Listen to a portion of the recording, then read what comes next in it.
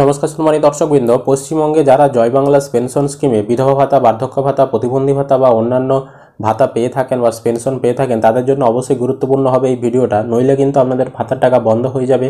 আপনাদের জন্য বেশ কিছু গুরুত্বপূর্ণ আপডেট এসেছে, কিছু কিছু কাজ আমাদেরকে করতে হবে। কি বলা হয়েছে সেই আপডেটটা আজকের এই ভিডিওতে আমরা আলোচনা করব। ভিডিও ভালো লাগলে অবশ্যই একটি লাইক করবেন আর যারা ইউটিউব থেকে দেখছেন, চ্যানেলটা সাবস্ক্রাইব করবেন। ফেসবুক থেকে দেখলে পেজটি ফলো করতে ভুলবেন না।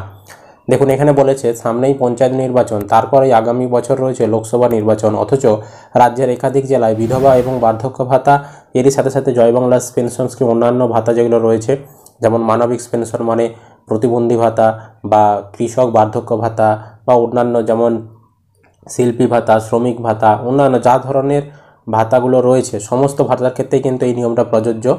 তো সেই ক্ষেত্রে বলা হয়েছে, উপভোক্তা যাচাইয়ের প্রক্রিয়া চলছে ঢিমে তালে। উপভোক্তা যাচাই কিন্তু হচ্ছে না।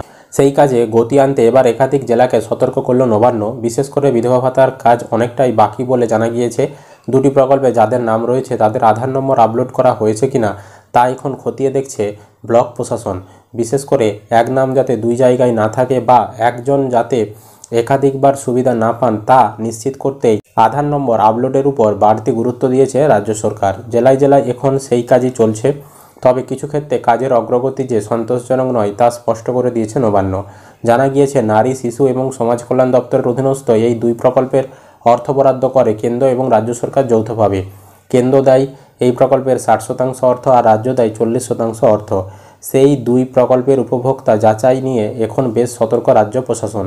যোগ্য উপভোক্তারা যাতে প্রকল্পের সুবিধা পান, সেই লক্ষ্যে এখন ব্লকে ব্লকে উপভোক্তাদের আধার নম্বর সংগ্রহের কাজ চলছে।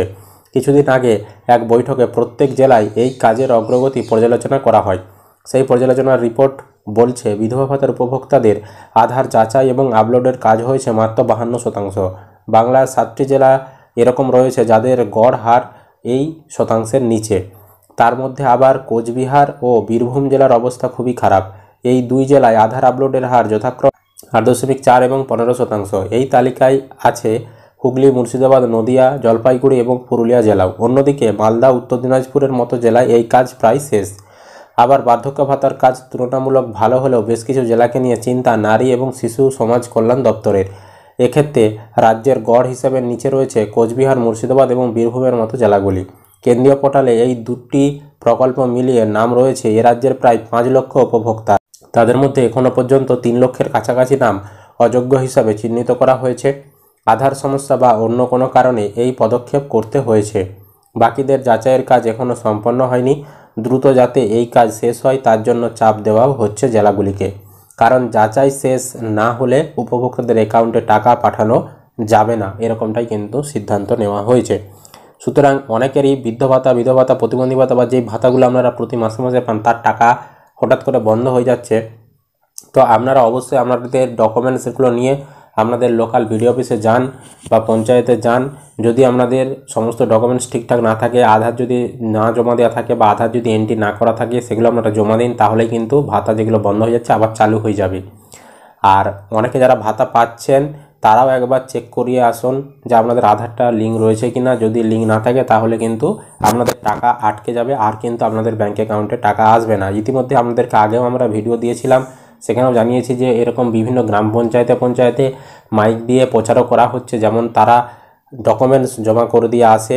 অনেক জায়গায় কিন্তু জানানো হয়েছে। তো আপনারা যদি এখনও না জমা দেন, অবশ্যই কিন্তু একবার জমা দিয়ে দিবেন, যাতে আপনাদের এই ভাতা প্রকল্পের টাকাগুলো না বন্ধ হয়ে যায়। কি কি ডকুমেন্টস জমা নেওয়া হচ্ছে না? ভোটার কার্ড, আধার কার্ড এবং ব্যাংকের কাগজ। প্রত্যেকটার এক কপি করে জেরক্স এবং অরিজিনালগুলো কিন্তু দেখছে তারা, আর জেরক্সগুলো জমা নিয়ে নিচ্ছে।